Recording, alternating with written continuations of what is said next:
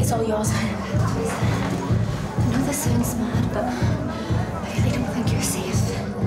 I'm just gonna leave. Wait, do listen to me. Silas is going to kill again tonight. Brendan murdered those girls. No, Silas set him up. Just let me go, yeah? Theresa, please. If he even knew that I was talking to you, he Said, get off. Oh, what's going on?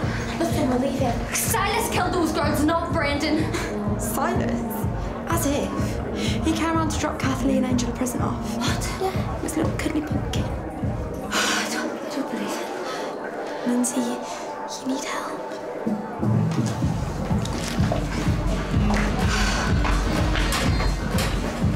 Here you go, courtesy of the masked man from yonder. For me, who is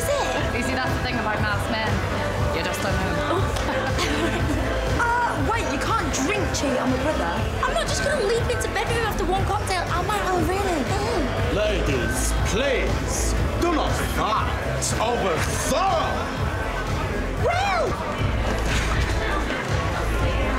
My, what big eyes you have. Lynsey, You know we will, don't you?